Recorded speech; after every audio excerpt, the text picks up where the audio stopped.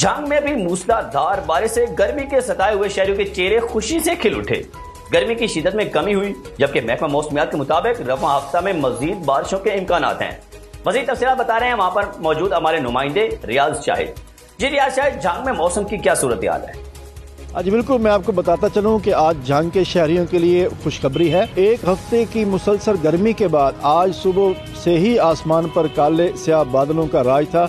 ठंडी हवाएँ चलती रही हैं और आज दोपहर को झंग और गिरदो नवा में शदीद बारिश हुई है, जिससे गर्मी की शिदत भी कम हुई है और शहरियों के चेहरे भी खुशी से खिलखिला उठे हैं।